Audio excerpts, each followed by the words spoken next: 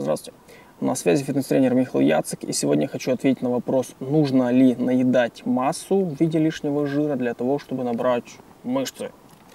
В последние годы тема повышения тестостерона набрала огромную популярность, и только ленивый не высказался по этому поводу. И все врачи, все э, эксперты и ученые говорят и доказывают на аргументах и исследованиях, что если у вас лишний вес в виде лишнего жира, то это подавляет ваш тестостерон. И чтобы поднять ваш тестостерон, нужно сбросить лишний вес. Где логика? Чтобы набрать мышц, нужен повышенный тестостерон. Если вы набираете сало, он падает. Где логика? Зачем наедать массу? Тут достаточно всего лишь элементарно чуть-чуточку, совсем чуть-чуть включить мозги и вы увидите, где правда, а где не очень. Поэтому для того, чтобы наращивать мышечные объемы, силу, массу, там, выносливость и все эти дела, совершенно не нужно наедать лишнего сала, потому что это будет только вредить.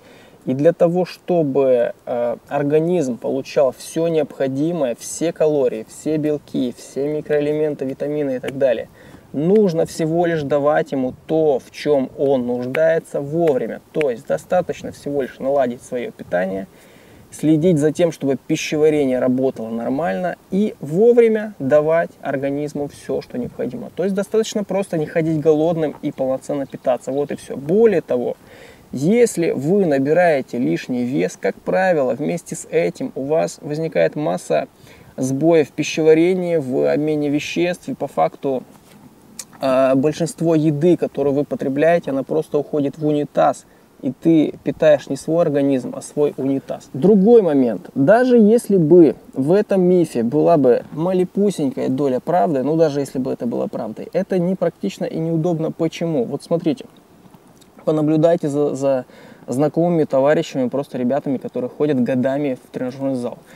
Как правило, история шаблонная и стандартная. Приходит парень молодой в зал, там, лет ему 18, может быть 20, и ему давай втирать. Вот сразу надо набрать массу, а потом подсушиться, и ты такой будешь красавчик такой.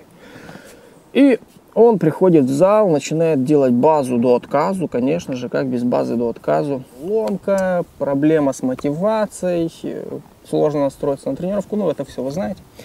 Э, и, конечно же, ему внушают, что нужно много жрать. Конечно же, тренировки периодически вылетают из графика, как всегда. Плюс э, сам тренировочный процесс устроен через задницу, как обычно. А вот жрать, жрать это дело святое. И он жрет, жрет, жрет, жрет. Раз вылетел с тренировок, два вылетел с тренировок. И получается как? Ну, а жрать-то он не забывает.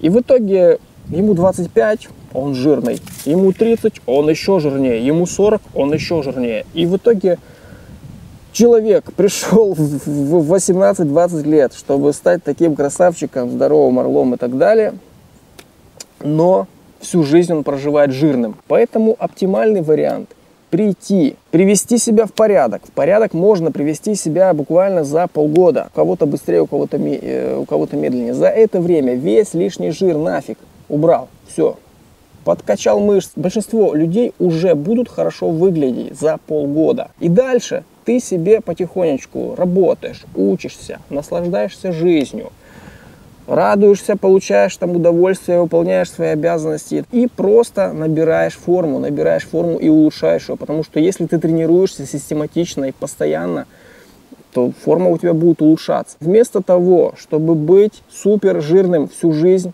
нужно быть в форме постоянно. На этом все. До новых встреч.